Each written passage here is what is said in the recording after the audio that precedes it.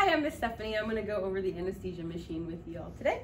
So um, this is one of the three different types of anesthesia machines that we have here at Pima Seattle.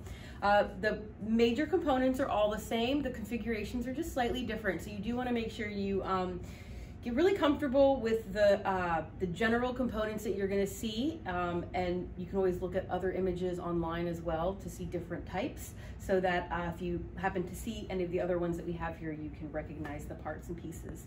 Um, all right, so first thing you want to do after you get your machine out um, is you want to go ahead and hook it up to oxygen. This particular machine always goes on station two because it is the longer oxygen cord because our connection's over there. Um, we do have a hook in the ceiling that we put it up onto. Uh, you can always ask for help if you're not tall enough to get it there. Um, make sure you do that because we don't want the cord hanging, hanging and being a tripping hazard. Uh, you're also going to want to make sure you ask an instructor, an instructor to make sure that oxygen is on. That is, um, it's your responsibility to make sure it's on, but only instructors are allowed to turn oxygen on and off in the oxygen closet, which is located in the kennel room. All right, so uh, green for oxygen, right? So this is my oxygen line. There's a toggle on here. You can pull it. You got some leeway. And I can see green here as well, so I know I'm hooking it up to the right one.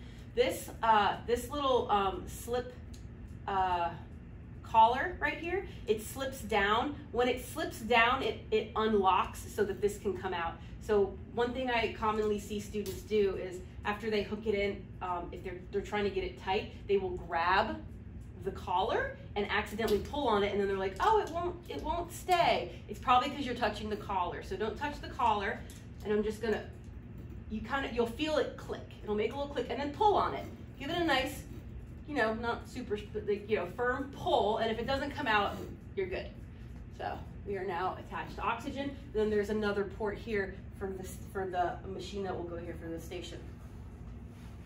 All right, so back to our machine. All right, so our oxygen is coming in uh, to our machine, and you'll see it, uh, it has a splitter here in the back. It's gonna enter into this part of our machine, which is known as our flow meter, right? This is your oxygen flow meter. Um, you'll notice that uh, off to the side, it does say liters per minute, so it tells you what your unit is right on the machine. Um, to turn it on, you'll just turn to the left and the bead will move up. Uh, lefty loosey, righty tighty. Don't over tighten this when you turn it off. You want to just, as soon as the ball hits the bottom, you stop because this will, um, you'll end up ruining the threads. So uh, if I want to turn on oxygen, the middle of the ball is where I'm at. So this line, this first line is one, this line right here is one and a half, and then it goes two, two and a half, three, and so on.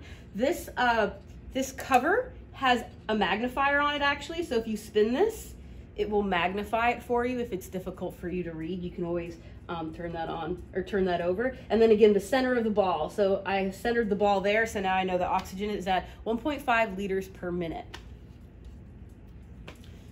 Turn that off. You'll notice too here at the split as the oxygen comes in, it splits off to another part right here. This is another piece of our machine. This is my flush valve. When I hit this button, it sends fresh oxygen through, bypassing all of the other gas and other parts of the machine. So this is just straight oxygen going right through to our patient. Um, and you guys will learn about when you should and shouldn't use that. We're gonna use this for um, doing our pressure test on the machine, which will be another video. all right, so oxygen has now um, entered the machine through the flow meter. You dial up how much oxygen you want. It then comes out through this tube right here. And if we follow this down, this is kind of the key. Anytime you pull a machine out and you're getting comfortable with it or you're hooking something up, just follow the flow of the tubes. That's gonna give you the best understanding of where everything is at. So oxygen comes through this line and it comes into my vaporizer. Ours is purple for isoflurane, right? Um, it'd be yellow if it were sevo. You'll notice on top, there it actually says inlet on here and then it says outlet on there. These just, these connect, um, we don't have to take those off, but these connect uh, directly to the vaporizer. So my oxygen is now going into my vaporizer. Um, and it's in the name, that's what it's doing, right? Isoflurane is a liquid um, material that we, uh, you actually will fill it in here. You wanna make sure that it is full. as oxygen comes through, it vaporizes that liquid and turns it into a gas, and oxygen is the carrier gas and carries um, our anesthetic gas through the outlet. All right. So right here on our um, and um, on our vaporizer, you can see this little gauge. This is how you'll tell whether it is full or not. This is uh, the next thing you're going to want to do. Again, if you're following your flow, you'll look here and you make sure um, you want. You can see that this is really low. This would need to be refilled. You can see the little uh, meniscus here of the fluid. Uh, you would just tell your instructor that you need isoflurane. They will either fill it for you or they will watch you do it. Do, your instructor does need to be there or do it themselves um, because it can cause a big mess if the isoflurane spills or the bottle breaks or if you leave this open too long. It will kind of vaporize into the air. It's a little volatile.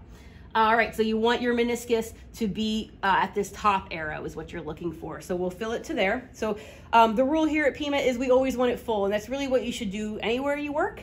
Um, anytime you're about to start an anesthetic procedure, you don't know how long it's going to be. You don't know the last time someone else put in it, put flu, uh, the uh, isoflurane into the machine. So go ahead and just fill it all the way up. You're not hurting anything. This is my dial um, on my vaporizer to turn isoflurane on.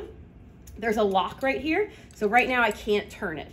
This is my little um, notch telling me where I'm at. I push this down. I only need to push this down to, to unlock it. Then I don't need to push it down anymore. Now I can turn it up as much as I want. So that's how you will turn your dial and it clicks so you can feel it. So right now I am at 1.5% isoflurane. That's the unit, it's percent. Uh, so basically the percent of the gas the animal is breathing is 1.5% uh. I can go to zero and it will stop pushing out isoflurane. I don't have to go all the way to off. Uh, but if you're gonna leave the machine, you should always go to off. But if we're just disconnecting to move our patient, zero is fine. You'll notice I have it turned on right now and I am not worried about passing out from breathing in isoflurane, right? That is because it cannot go through without my oxygen being on. If I turned my oxygen on, then yes, there would be isoflurane coming out right now. But remember, it's liquid until the oxygen goes through and vaporizes it and carries it out. We'll turn this back off. All right, so my oxygen has come into my vaporizer. It is now gonna come out of my vaporizer to this tube here. Keep spinning my machine so you can see where we're going. Following my tube, and it comes here to this splitter. Um, make sure you feel comfortable with what's how uh, what's being divided where because when it comes to the non-rebreathing circuit which we will have a separate video for you're going to need to know this is where you would disconnect and attach it. Um, and you're going to need to know what material you need. So we'll discuss that in a different video. But I can see that this um, this is the flush valve we already looked at so, so um, my, my gas is not going that way. This is oxygen coming in if I were to push uh, that button, or yeah, push the button. Um, and then I see that this tube comes up here. What it's doing is it is coming into this part of the machine, okay? This whole portion of the machine is strictly for rebreathing circuits, all right? Which is why when we use a non-rebreather, we will disconnect at that um, juncture. So this is all rebreathing circuit stuff. So um, here I have my manometer, all right, and it gives you the units on it. It tells you it's centimeters of water. It's the only one that we measure pressure with that unit, but that's the one that it is. So centimeters of water, and we'll talk about um, where you want to put this gauge to or what numbers you're looking for when we do our pressure check. then it's going to come into, you'll see here, inhalation valve and exhalation valve. So this tells you how you need to hook up your rebreathing circuit. Uh, inhalation, this is the, what the animal is going to be breathing. So you want to make sure this is attached to the tube going directly to the animal. For some circuits, it doesn't matter, but we'll go over that in the rebreathing circuit video. I have a flutter valve here. You will actually see this move as gas and is moving through and the animal is breathing. There's another flutter valve here at the um, exhalation side. So my gas comes through here, the animal breathes it, uh, they exhale, and then that, and then this guy right here is my soda lime canister. So this is my CO2 absorbing. Again, it's a for rebreathing circuits. So if they're rebreathing, that means uh, we have to filter what they have exhaled. They're rebreathing back what they've exhaled. So um, we're gonna, more, more gas and oxygen is gonna mix with it, uh, but we need to pull that carbon dioxide out, and that's what this container is uh, here for. So now that we're on this container, I want to tell you a couple things you're going to look at. you want to double check uh, the dates and stuff here. You'll see this is a bit out of date since we haven't had surgeries in a little while. Um, canister, uh, the soda lime is good for six to eight hours of use or 30 days since it was last changed. So we have a date here for the last time it was changed, so check that date. If it's been 30 days, let your instructor know we need to change the soda lime. Um, if the date is good, then you're gonna come here to the time. This is something you're gonna rec record when your surgery is over. This is part of your post-op procedures. Um, you're gonna actually record how much time was the animal uh, or was anesthesia running off of this machine. Um, so we write it in total hours and minutes in time format so you can just see that. So this one has only had a barely two hours on it. So you might think, oh, it's only two hours. I don't need to change it. It's also not purple, which is something people look for, right? But look at the date. This is back in February. So this obviously needs to be changed. So you'll just let your instructor know. If it was holding a purple color, that would be another indication to me that it should be changed. Note though that when the machine is working, your soda lime will turn purple and that's okay. It's when it turns purple and stays purple, even after it's not been used, that that indicates to you. But you can see this is old and should be changed, uh, but it hasn't turned purple yet. And that's because we haven't actually used it very much. All right, um, so they, uh, they exhale right through here. Um, it circulates through. Uh, this guy right here, this is where my bag will hang, my reservoir bag, right? Um, and we'll show you that uh, during the hookup. The reservoir bag, remember, this is where they're actively breathing from, right? So it it uh, it's analogous to their lungs, so it should be about lung size. And whenever it empties, that is them taking a breath. They have breathed from that bag, and then when they exhale, you'll see it fill back up. Um, and then everything will pass through here to be filtered, and the process just keeps going through cyclically. So you'll notice I'll have, uh, I'll have lines here to my patient, I'll have a bag here, and then I've got this fun guy, this little um, valve essentially that things are coming through. This is my pop-off valve. This closes my circuit off. So when we do a pressure check, we're gonna talk about turning this off, which again, righty-tighty, you wind it all the way down. You wanna make sure this is always open unless you're actively turning it off for some reason. So as I'm here looking at my machine and getting ready to hook it up, one of my natural things I'm gonna do is I'm gonna turn this left and make sure it's nice and open up. You don't ever want this to accidentally be closed when you have a patient attached. You will close it at times, but we'll talk about that during our pressure check. And how this closes off the circuit is because of this exit. So this is my exit. This just has this little, this is just an adapter um, for the tube. So this is where um, my, sca uh, my scavenging system is going to pull out any excess air, um, any exhausted stuff, any excess gas, all of the excess stuff that the patient isn't using and the machine isn't using is going to come through here and exit the machine. So that's why when I close this down, I've turned the exit off. So when this is attached to a patient, there's nowhere else for this gas to go except to the patient. So that's why this valve is can be very dangerous uh, because you can overinflate lungs and cause um, collapsed lung, ruptured lung, lots of problems. Um, all right, so this is where I'll put my scavenger system. Okay, this, we do not have an active system here, we have a passive. So my tube would come down to here. This is my scavengering system. This is a passive system. Um, says F Air on it. That's a common, that is a trade name, but it's a common name. It's a, it's a charcoal filter essentially, or passive, um, passive scavenging system. So my tube, which will be a blue tube, will come off of here into my scavenging system. And this protects everyone around uh, the patient to ensure they're not breathing in excess gas that has been pushed out.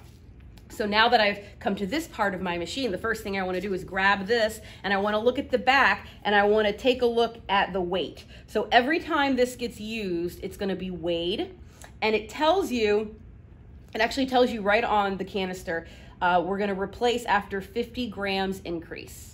All right. So when you, if uh, if you have to change this, or if it's the first time it's being used, you need to weigh it at the gram scale, which we have um, over on the other side of the classroom, and write down the initial weight. Put the date and put your initials. All right. And then if uh, now what, what what I would do using this machine is I would go ahead and I would weigh it and I would look at the original weight and I would ask myself, is it 50 grams over? If it is, it just goes in the trash. It's not hazardous. Uh, you throw it away and you get yourself a fresh one in the cabinet over there, uh, which I will show you when we do our machine hookup. And that, oh, one more thing I'll just note, uh, this little pocket right here holds your lubrication for the eyes and your syringe that we use to puff our cuff on our endotracheal tubes. This should always be a 12 milliliter syringe only because we never want to put more than 10 milliliters of air into our cuff. This always needs to go back in here. Uh, if you use it to puff your cuffs, it goes back in here. Even though you may need to use it again, you always want to put it back here because we don't want to have to be struggling to find a syringe to deflate a cuff in an emergency situation when an animal is flailing and they have a tube in their throat. Um, this is just a little elbow that we'll use later. And that is the anesthesia machine.